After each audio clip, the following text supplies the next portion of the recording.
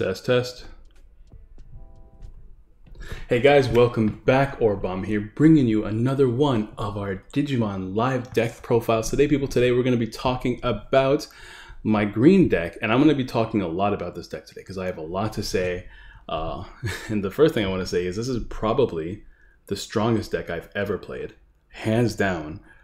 No contest. Now, I do want to say before we get into it, this is going to be a set three meta deck list. No starter deck cards, but I will be talking about what starter deck cards I would put in here and how I would change the deck if I did have starter deck meta based on the few cards we've seen so far. But you guys know the drill. If you guys like the Digimon content, if you guys want to see more of the Digimon content, be sure to like the video. Uh, leave a comment down below. Today's question is going to be what's your favorite level 6 green mega? So, what's your favorite green mega in this game right now? There's a lot of green megas actually. Green has green has a really interesting style where there's just a lot of options in green. And so it's it makes green both the most fun deck to play and the most difficult deck to play and the most fun deck to build and the most difficult deck to build. Actually, it's not that hard to build, but it's definitely like you have to figure out what is good. It's very moldable too, based on the meta, which is really nice. And I mold this. I made this deck able to beat red fairly consistently and able to control pretty much every deck in the format right now. And my audio is not working because for whatever reason, the music stopped playing. So we'll turn that back on right now. It was very odd. I don't know why the music stopped playing. All right, cool. So you guys know the drill. Like the video. If you don't like the video, dislike the video. Uh, share the content so we can continue growing the Digimon greatness. We're going to be spreading the gospel that is the Digimon TCG. So uh, yeah, let's go ahead and get on right into it. So the, the focus of this deck is going to be, of course, Ceresmon, ridiculous Digimon. Uh, it's got download itself, but more importantly, if you use download, you rest one of your opponent's Digimon instead of your own, which is the purpose of this deck. This deck is very much like the long game kind of deck. All you're doing the entire time you're playing this deck is making sure your opponent never has Digimon. You rest them, you destroy them, and you slowly take security if you even want to take security at all. Sometimes you just kind of play the game until your board is so big that you just can take security all in one shot. Unless you're playing things against things like Omnimon that can de-digivolve your stuff, or like can destroy a bunch of your Digimon. But usually your Digimon are way stronger than what Omnimon can destroy, which is really handy as well. So that's going to be the focus of this deck. Uh, other options we have in this deck, we're going to be playing Bancho Stingmon for that piercing. Essentially, if you're playing against Omnimon, you have that security attack plus two. Uh, if you can rest your opponent's Digimon, use piercing on their Omnimon, take three security uh, while doing that, because you have piercing as well, and you're going to be definitely strong enough because you're at least 1600, I believe. Yeah, because you get 17, you get 700 more DP when you attack a dude that has more than 12,000 DP, which is kind of relevant because uh, there's 12,000 DP or more, right? So this works on things like most megas uh, that have 12,000 DP, so like Blitz Blitzgreymon and whatnot. So it works on them, which is really really nice, and it works on all Omnimons and stuff like that, and it also works really well in the mirror match as well. So it's a really good card. Uh, it's just a matter of can you get rid of all their blockers. Sometimes you have to bait them by destroying their blockers first, or making sure all their blockers are rested, and then go into this, destroy their Omnimon, and have a good time. We're also playing a Mega Gargomon. At first, I really slept on this card. I thought this card was terrible. But one thing that I've really realized in this in this meta, and this is like this is true just in Digimon uh, in general, but especially in this current meta, where most decks have so much they can do now with very little memory, is that you don't want to give your opponent a bunch of memory. In this deck in particular, I'm not playing Puppetmon because Puppetmon, sure, you can stop all your opponent from resting, and Puppetmon's good in case your opponent has like a really like huge board and all of them are rested and you can stop them from becoming active. But in most cases, when you're playing this deck, you're going to be resting your opponent's Digimon and destroying your opponent's Digimon. So Mega Gargomon's ability to just rest one and stop it from becoming active is just good enough to survive a few turns. And also it does have security attack plus one which is nice as well because that can actually help you ramp into ending the game. So we're playing two of these. But once again, this is our mega of choice. Uh, we're playing eight megas in this list, which is quite a lot, honestly. But because of like we compensate that with having, I believe, 16 um, or 17 actually, even more than I thought. 17 level threes, we can easily compensate for that uh, high amount of megas that we're playing currently. We're also playing some option cards. No tamers though, because this deck is the king of using no memory. like most of the time, you're using one memory a turn. That's all you need, and then you can just pop off because this deck is absolutely absurd. This is. I took out the I took out the Mimi for this exact reason. You choke your opponent your opponent cannot choke you. Even if they do choke you by giving you a one memory, you can still do a bunch of stuff most of the time. So let's go ahead and get into everything else. As far as my options here, I'm actually playing two Minomon, and honestly, this might go up to three or even four because Minomon's ability, uh, if you attack a Digimon, you get a thousand more power, is really nice for that whole controlling aspect. If, if Digimon your opponent have end up getting too strong, uh, it's nice to have access to Minomon to be able to destroy them. I really think I might bump this up to three, but Argomon, of course, is really good because of that plus one memory. But like I said in this deck, the reason why uh, I'm thinking about cutting this down to one and making this four is because, like I said, you really don't need that much memory to play the game at all when you when you, when you're playing green, which is a big boon as to why green is good because you can use all your all your level fours, almost all of them. Whenever the starter deck comes out, all of your level threes or fours will have one evolution cost that matter. Everything else has a zero to two evolution cost in the level fives, and everything else here, which can all be free thanks to hidden potential, by the way. Uh, which I guess we'll probably talk about that now. Hidden potential means if you rest one of your Digimon, you can reduce the evolution cost by five. So all of your evolutions has the capability of being free. So it's just it's it's just absurd. Um, so yeah, as far as what I'm playing, I am playing a bunch of the level two plays because once again, we are trying our best to make sure that our opponent has no memory during their turn as well. So we want to make sure we have these cards that cost very little memory to use. Uh, so we are playing a bunch of these. If you have to cut any, you would cut the Argomon, right? Because you are playing other Argomons and you don't want to do that Omnimon shenanigans where, your, where Omnimon destroys all of your Argomons. If they ever get more to play green Digimon in the future, which I should probably just like have this open so we can discuss all of the other options here, uh, which we're going to do. This video might be a little bit longer because like uh, the reason why I'm so like invested in this deck, right, is actually for not the reasons you would think. I actually did not like this deck, not because it wasn't good. Honestly, it was because it was too good and people are playing it all the time. so I was building and building because I was gonna be part of the Digibyte. I didn't. I didn't end up joining that tournament because uh, the Players Cup for Pokemon was the same day, and that's like a Pokemon sanctioned tournament, and I wanted to make sure I actually played in that. Um, so unfortunately, I ended up not being able to play that tournament. But this is the deck I was going to play because all the decks I played against it would lose most of the time. Like this is probably the most consistent deck and the strongest deck I've ever played against anything ever. So unless the decks are like specifically tech to beat this or have like crazy security rush, you usually cannot you usually cannot beat this deck.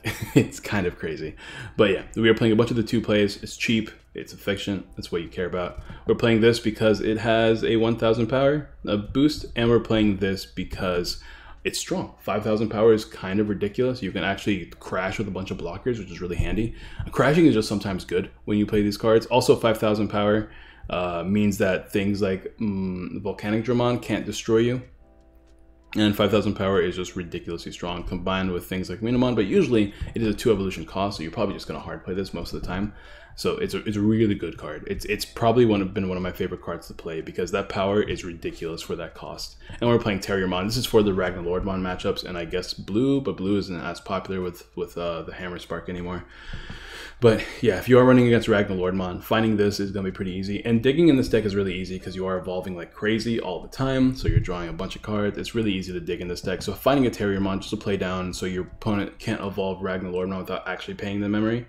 Or play Hammer Spark. And it's really good if you're going against blue because if, if you hit a Hammer Spark in the uh, security, it becomes kind of annoying because usually your turn's going to end because you usually have your turn. You usually only have like one or two memory during your turn because your opponent will choke you unless your opponent gives you a bunch of memory, you don't really care, right?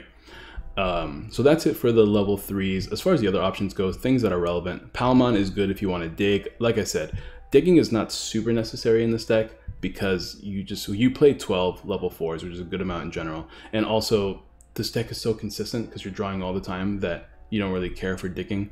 Anything everything else that matters doesn't really matter. This is a pretty good, it's got a little bit more power. Um, 4000 power for free evolution. So if you're looking to play more level fours or level threes, this is a pretty good option just because that power is really good. Uh, Wormmon doesn't really come into play because we don't care about destroying ourselves, but if you want to, you could, I guess. I don't know. I don't want to play three costs to put something down. I want to play two costs.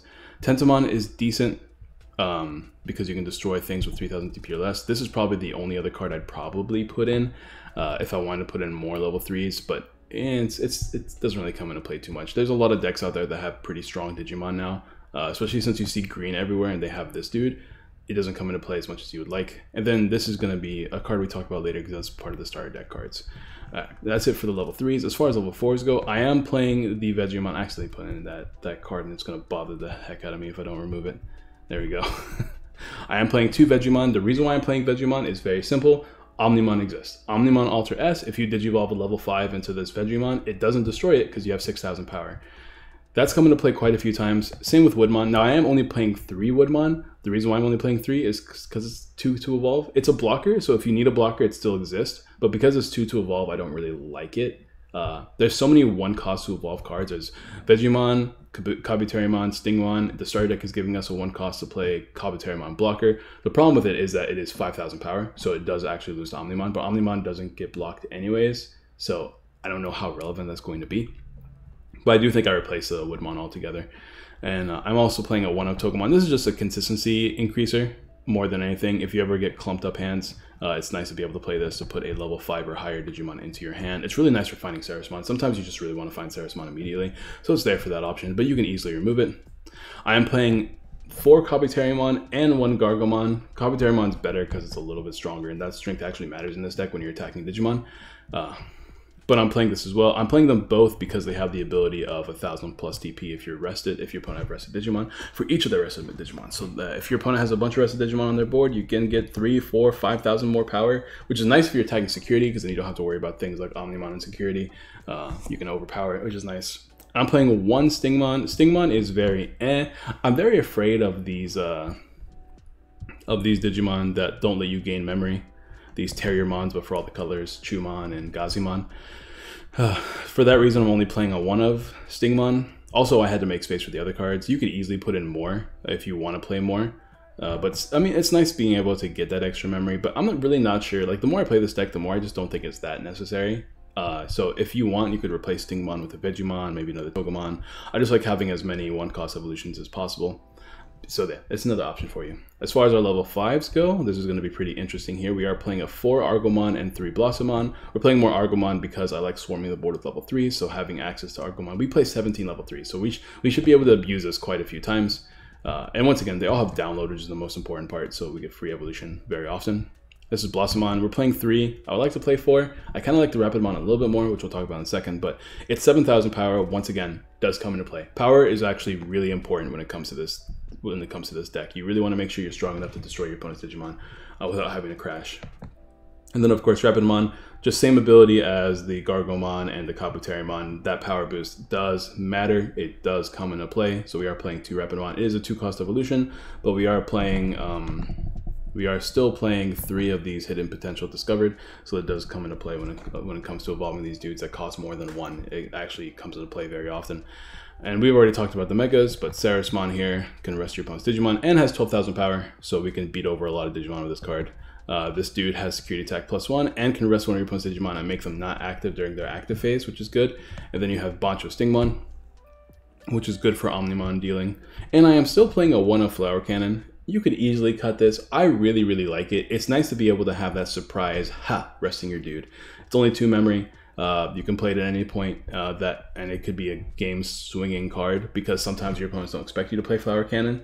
So they kind of put a bunch of dudes on the board. Maybe they give you a little bit extra memory that they shouldn't have, and you just kind of show them, hey, uh, I appreciate that you put in more Digimon on the board than I do, than I do have, or the ability to rest you with because of Ceresmon, but I still have Flower Cannon and I'm still gonna beat over your Digimon, and you're gonna never attack my security because that's what I do when I play green.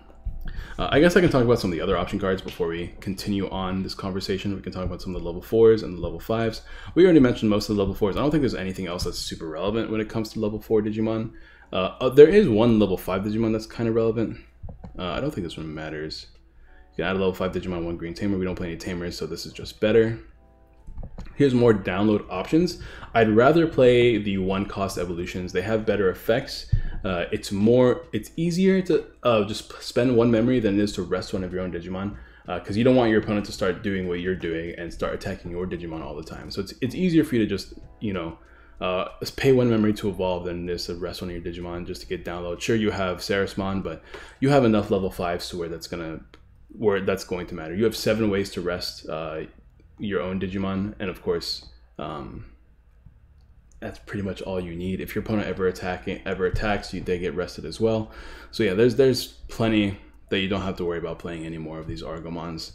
Um, no security Digimon in this deck. We don't care. In fact, that's that's something I should probably mention. This deck is really strong, but its fatal flaw is that its security is boo boo. It's it's it's boo boo. It's poop on the floor. It's terrible. Like you don't ever have to worry about security unless you get unlucky and hit into a Ceresmon. If you have anything with twelve thousand power, you can just start taking your opponent's security and not have any risk. Uh, most risky thing is they're going to get a hidden potential in their hand. Maybe you'll hit into a flower cannon if your opponent plays a bunch of flower cannons or something like that.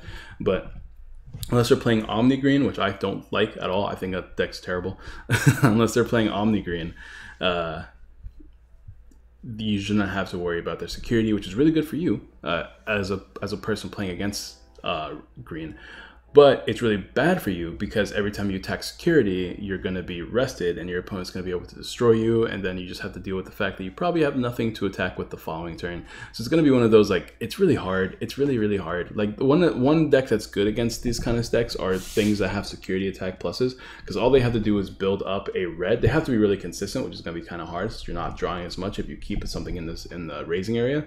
But all they have to do is build up a Digimon that has a bunch of security attack pluses and then you just attack their security and hopefully you'll have enough to win the game. That's like your best bet. Ragna does that pretty well, but every other, uh, like some red decks do it. Like Omni Red kind of has a weakness because it's you most of the time you only have like security attack plus two unless you're playing a tamer a lot of decks don't play tamers i feel like tamers are gonna be if this deck becomes like super duper like over centralizing if it's super meta then you probably are forced to play Tamers in your deck list because your opponent can choke you every single turn to only have one memory. So being able to start your turn with three memory is going to be really big. So you can do multiple things in one turn. So Tamers might become a necessity. So uh, Tai, red Tai, giving you that security attack increase is probably going to be good. Um, like I said, red, and especially in Japan, red is the best deck because it's getting the most results most consistently. It's still early. It could be one of those things where like people are comfortable playing Omni Red because it's what they played last format, and um, that could be it. Green is seeing a lot more results, probably like the second most results usually. So yeah, it's up in the air. We'll see what happens there. And we can talk about the level five. One dude I really want to talk about is going to be Metal Tyrannomon here. It might be worth playing. It's got 6,000 power, so it's kind of weak. But if you destroy a level 6 Digimon, this this becomes active, so you can attack again. I don't think it's super necessary in this build, because once again, we are download. Uh, we, we need that extra power here and there. You could try it out. It might be worth playing over uh, Rapidmon in it, like if you feel like power doesn't really matter as much. Or maybe you think you have enough power with Kabuterimon and Minomon. Because being able to make yourself active again, destroy even more Digimon is really good, for sure. It's probably better in the new deck that's coming out, the Kabuteri one from the starter deck. Everything else here is kind of lame. I mean, sure, you can rest dudes with Lilymon, but that doesn't matter either. You have enough resting capabilities in this deck. JewelBeemon has 10,000 power, so if you're interested in more power, that's an option for you as well. This one has piercing and jamming, but these things are all three costs to evolve. Sure, you have hidden potential, but eh, you want to make sure your deck is as consistent as possible. You're not always going to have hidden potential. And then that's really it. There is Argomon level 6. That feels like an overkill kind of card, so I'm not playing it. But you could play it. It's got the same thing where if you're looking for more download Digimon, but once again, I think it's overkill. I think Ceresmon and just having strong other Digimon is good enough. Uh, having these tech cards like Mega Gargo and uh, DinoBeemon is will get the job done. You can play these because you have hidden potential. It also has piercing, and if it destroys a Digimon, it becomes active. So it's actually really, really good for your strategy. But once again, it doesn't do it, it's more of a win more kind of card, right? And once again, you you already play eight megas. I don't I don't see myself cutting any of the megas right now. Maybe I can cut out a bunch of Stingmon if I feel like I can really control my opponent's board. But I mean, being able to beat Omnimon consistently, this is amazing for that reason. Uh, everything else is really irrelevant like we already talked about Pokemon in the beginning of the video, but yeah, I don't want to play a bunch of memory just to get that effect off. Everything else is piercing, which is cool. Rosemon's pointless, things like that. All right, cool. So that's gonna be it. Let's go ahead and talk about the starter deck green and how it changes the deck. I think the deck completely changes when starter deck green comes out. It becomes much more aggressive because you have access to Kabuterimon here, so you can get rid of your own Digivolution sources and. Uh, rest one of your opponent's Digimon. So this thing can rest two of your opponent's Digimon every time it's on the board, pretty much, because you should evolve into it all the way. So that's really good. It's probably better than Ceresmon. It's got 12,000 power as well. You can always activate hidden potential. You definitely play four hidden potentials if that's going to be the case. Um, you might play Mimi to make sure you have some memory, but I don't think that's as necessary. As long as you can find hidden potentials, you should be fine. Uh, you probably cut out a lot of the other megas as well or if you do cut out, if you don't cut out the megas, you're probably forced to play Mimi or something just because uh, you want to make sure you have three memory on top of uh, hidden potential. That's my guess. I'd have to try it out a little bit more first. But uh, Tentomon is amazing. It's another win plate effect, but it's essentially a win play draw one because it lets you put a Digimon, green Digimon from your trash to your from your from the top of your deck to your hand, or if it's not a green Digimon card, you put it in the bottom. So uh, I'm assuming uh, if the card is a green Digimon card. So I'm assuming this has to be a Digimon itself as opposed to any other green card. So most of your deck is green Digimon. You only have hidden potentials because you're probably going to take out um, Flower Cannon at that point just to make it as, as consistent as possible. Um, so you're probably going to take out Flower Cannon. Your, only, your only other cards in this deck are going to be four hidden potentials, maybe some other tamers if you choose to play tamers. I'm going to test it without tamers first to see how far it goes. Um, you have more blockers this way. One cost to play blockers is going to take you a long way. Rosemon sucks. when did you evolve until the end of your opponent's next turn? One of your opponent's Digimon cannot attack or block. Uh, it's pretty boring honestly, because it'd be different. If you could rest one of your opponent's Digimon, but it doesn't. This is this is the one that does it. So this is gonna be the main card, and this card is. Eh, I mean, like it's cool, but once again, I don't feel like you need to worry about gaining memory as much in this deck list. So you don't really care about the tamers. You just want to be as consistent as possible by spamming your board with Digimon and having one of the best option cards in the game, being hidden potential discovered. Yeah.